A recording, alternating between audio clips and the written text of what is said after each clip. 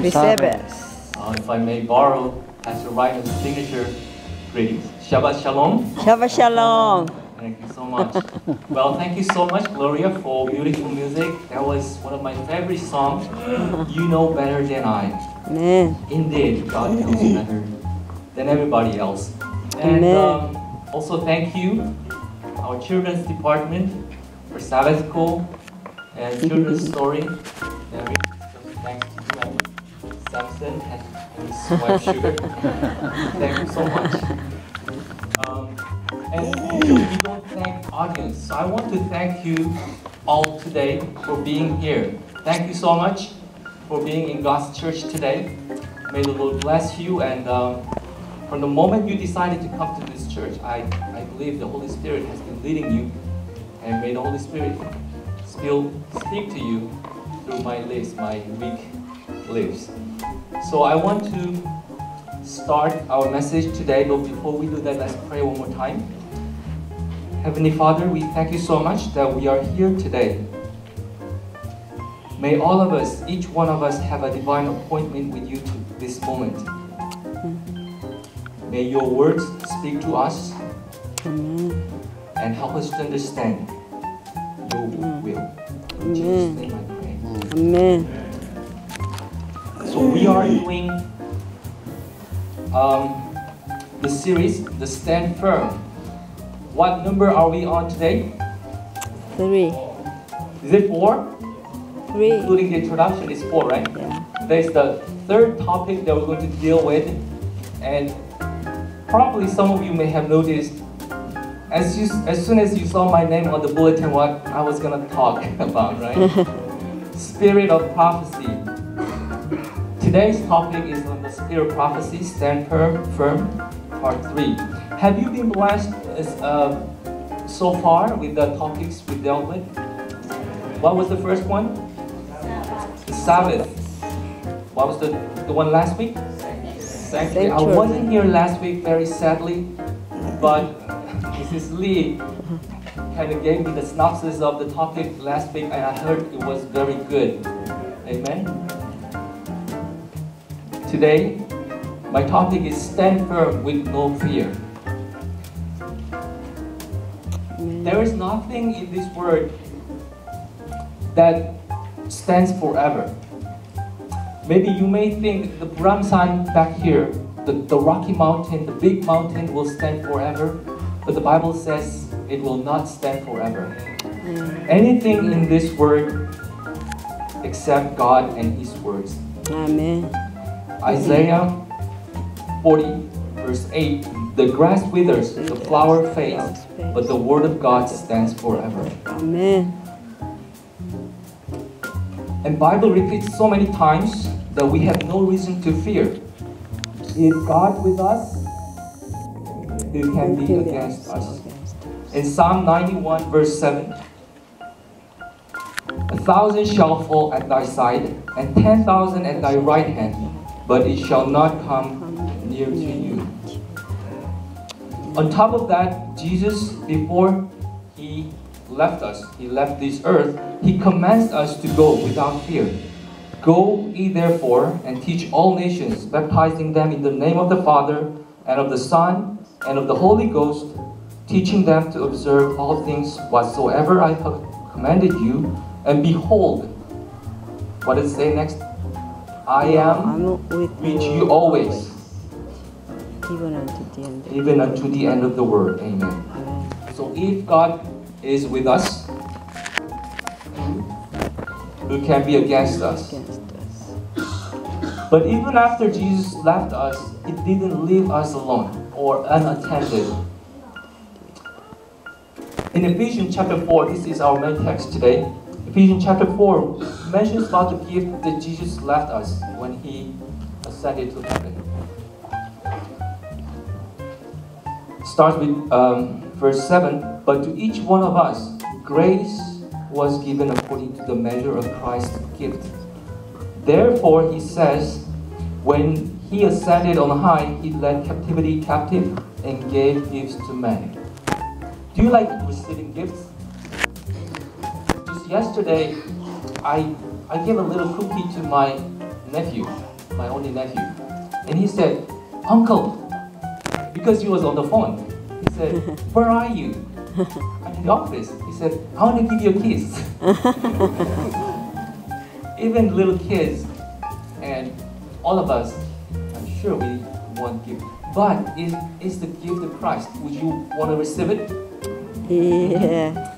If the gift is from Christ, I think nobody would deny it. From the verse 11, though, the Apostle Paul lists the gift that God has given through Spirit.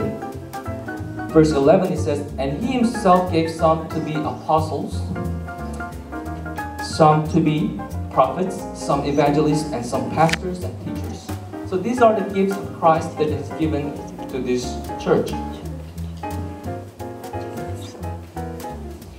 And following verses, starting from verse 12 and 13, why don't we read from the screen altogether, shall we?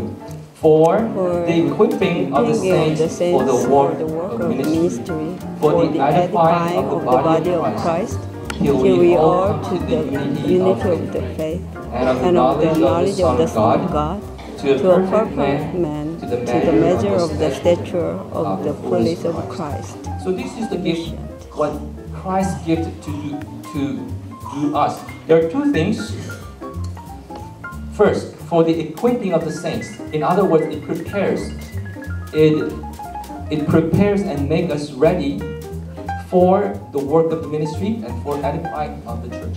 Edifying body of Christ, which means the church. In order to build up Christ's church, church needed this gift and this gift equips the saints. And second thing is to come to the unity. Is unity important? Amen. Do we need unity in our church? Do we need unity in our family? Amen. Only Christ gives, can give us the unity in our church. So, unity is one thing that Jesus would have wanted for his, his disciples to have in John 17. John 17, 21, he says, That they all may be one, as thou, Father, art in me, and I in thee, that they also may be one in us. So unity is what Jesus would have wanted to have. So two things, equipping and unity. unity. Okay. These two things, as a result of having these two equipping and unity, notice what happens. Verse, verse 14 and 15, let's read together. That We should no longer be children tossed, to and fro and carried about with every wind of doctrine, by the trickery of men, and the cunning craftiness of deceiving of deceitful prodigy. But speaking the truth in love, may grow up all things into him who is the head. Christ. Two things here also tossed to and fro and carried about wind, every wind of doctrine. So no longer, as ch- Church of God and the saints have the equipping and unity in them, the church will not be tossed to and fro. In other words, the church can stand firm. And the second one is we may grow up all things into him who is the head and made it perfect. Amen. So in summary, the gift of Jesus makes saints number one, equipped in truth. Amen. Amen. Number two, unified in the belief that they may stand firm Amen. and that they may grow up into Christ.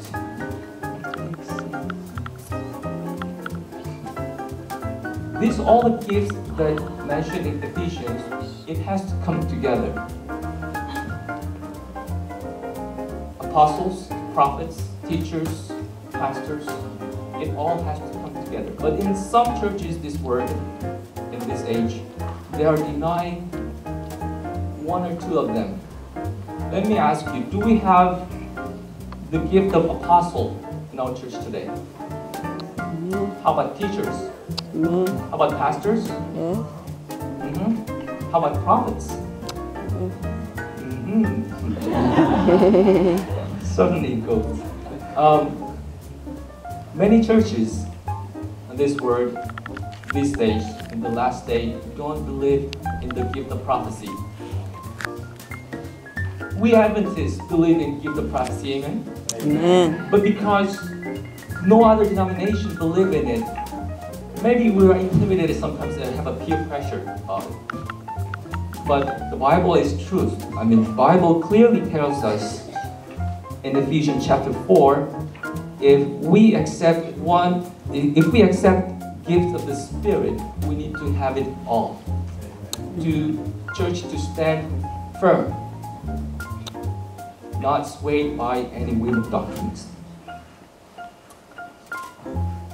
In fact, the Bible tells us that the gift of prophecy is the is the identifying characteristic of the remnant church in the last day. Revelation 12, 17. Shall we read together? And, uh, And the dragon was wroth with the woman, and went to make went war to make with the war remnant with the of his seed. remnant of his which seed, keep the which keep the commandments of God of God and and have the have the testimony of Jesus Christ. So, what is the testimony of Jesus Christ? Spirit of the prophets. Revelation 19:10.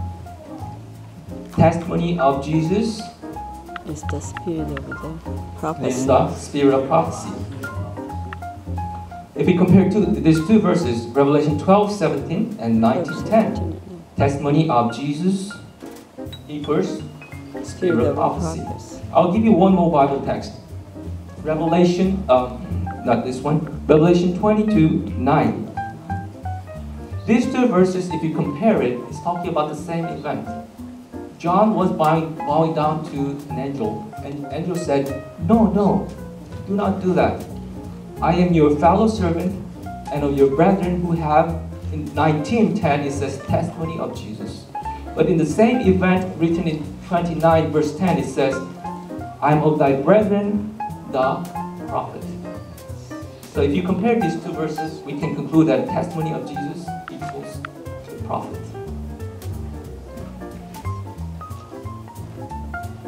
Point I'm trying to make is this book. Have you received this book as you enter today? Yeah. um, only in Korean. Sorry, I have some English copies here, but not too many, so I cannot give you all. But this is the book the General Conference this year in 2017 decided to have as a mission book of the year. Actually, this book is the concise or abstract of story of redemption. The story of redemption comes from 1858, the vision that Ellen White received from the funeral in Ohio. So this book contains the theme that she received in that vision. Well, English title is Story of Hope, but um, in Korean it's a Heart-Pounding Stories 15. So it is different title. Uh, they kind of made it very easy language for non-Adventists, non-believers to understand. So this will be a mission book that will be distributed around the world this year, especially this month of April. In other countries, they have an impact mission day. I wonder if Korean church will gonna have that too. But on that day, in some countries, they don't even have a Sabbath school in the morning. They gather at 8:30 in the morning.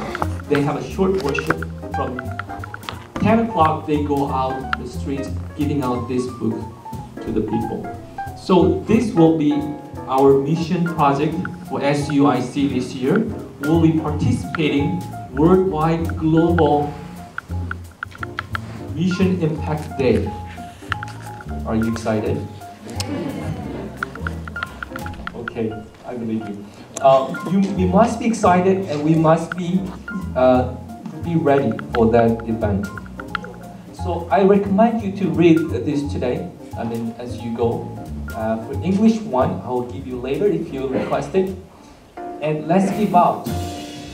I believe Korean Church Korean uh, Adventist Church this year we have a goal of 1 million copies. Do you think it's many? no, right? And I believe our church have we have an announcement and uh, information about how to get hold of this book, how to make a pledge of this book, and what we'll do with the distribution. So get ready for that. In closing, these are some of the Ellen White's writings. Um, some of you are very familiar with the titles um, of this. I, I see many students here, uh, international students. You must have received the book Story of Jesus as you enter this school. That is a wonderful devotional book. We have devotional book, home and family, and health and lifestyle. once we have these all counsels, we, I don't know. Rhonda is having a lifestyle uh, seminar starting next week, and it's in the bulletin. I recommend you to have a look at it, uh, have a look at the survey. Um, so it'll be a good chance since our church and personal ministry is starting uh, different projects these titles, this, this will go together with your endeavor for lifestyle change and everything. As I prepared this uh, topic today, I was repenting a lot because um, I've been letting others search for the truth for me. Especially, I was depending on my pastors, I was depending on my elders to search truth for me. But once we have this gift of prophecy, and the writings of Ellen White, we don't need to stay. Uh, we don't need to stay in lazy idleness. We can search truth ourselves. Some people uh, say that if you read too much Ellen White, you never read Bibles. But as I read Ellen White's Bibles, there's no way I cannot open the Bible. It only leads to the Bible and scriptures. And finally, as you can see here, we have wonderful counsels of lifestyle and home and family counsels. For our young families who have young children, who just got married, about to get married, there are tons of counsels we can take from Ellen White. It's an inspired, inspired writings. And health and lifestyle changes. When we take some of the uh, teachings of Ellen White on Bible truth, it's okay. But lifestyle changes sometimes. But that's partially receiving the truth. If we apply counsel of prophets, put it into practice, we'll certainly see the we'll see the blessings. So last year after my presentation, I, I asked you to make a um, what is it? I, I appeal to you to read the five great controversies series. Some of you took the challenge, Mrs. Lee Yeah, and Kathy. Uh, they received their gift. I promised you. So I, they received the gift. I don't know if some of you have started the challenge and still doing it. I don't know. Please let me know. Uh, I still want to follow up with you. And if you finish, there will be a reward.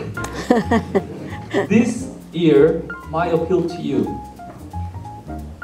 Why don't we take some challenges of applying the lifestyle counsels of Ellen White? Mm. It doesn't have to be big. I don't want you, I, I'm not saying you should read counsels of diet of goods and become a vegan right away. I'm not mm-hmm. saying that. Little by little, we, if we apply, God will lead into bigger truth and we can do it. So, my fellow Adventists, it is time to turn off the television, but turn on the television. television. Television, right? It's time to limit our World Wide Web a little while, but tap into Universe Wide Web with Three Angels message. What do you say? And finishing, Second Chronicles 20:20. Believe in the Lord your God, and you shall be established, and you shall stand firm. Believe his prophets, and you shall. Prosper. Our title is Stand with No Fear. This is White's last remarks before she passed away in Life Sketch 196. We have nothing to fear for the future, except as we shall forget the way the Lord had led us and his teaching in our past history. Amen. No fear. No fear in your future family plan. No fear for your study in future. No fear for your children. Right? There's no nothing to fear. I know. Me too. A little bit I worry. There's a fear. But let us not stay in that fear anymore. But let us rather focus how the Lord has done for us in the past and what teachings He has given us through Ellen White that we can be the last day remnant church. May God bless you that you will be found in His way. Amen. Let us pray. Heavenly Father, we thank you so much once again for the greatest gift you have given us. Sometimes we may forget, sometimes we may not stand firm, but Lord, please strengthen our faith with your Spirit and help us to focus on your words alone. In Jesus' name I pray. Amen. I